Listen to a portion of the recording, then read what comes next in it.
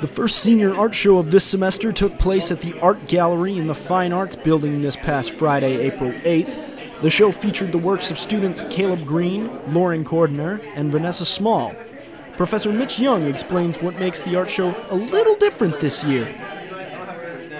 This year, when I set the show up, I decided that I wanted to break the students into small groups so that each one of them had a chance to really showcase more of their work.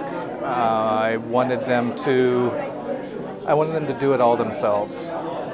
The three students put in a lot of work in preparation for the art show.